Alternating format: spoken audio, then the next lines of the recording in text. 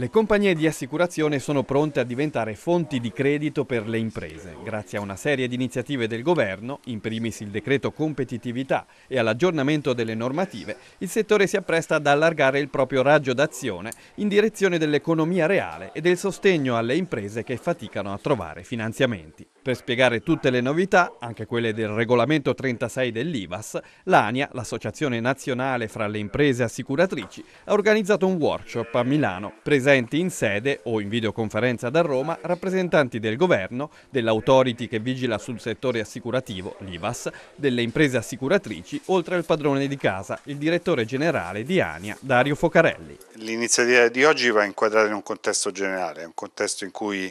diciamo, i rendimenti sui titoli di Stato si sono ridotti in maniera significativa e le compagnie di assicurazione hanno da gestire degli asset importanti, crescenti negli ultimi mesi e che in qualche modo